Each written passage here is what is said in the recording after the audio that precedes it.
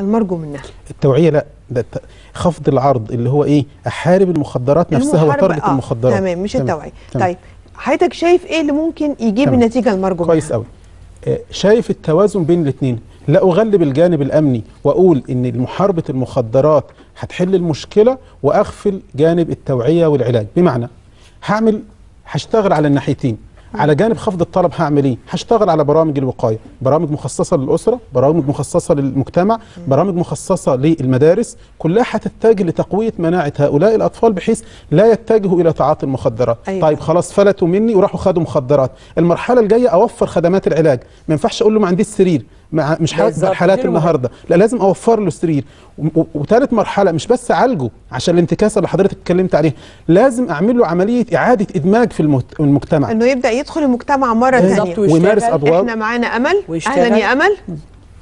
مساء الخير. مساء النور يا أمل اتفضلي. يا ست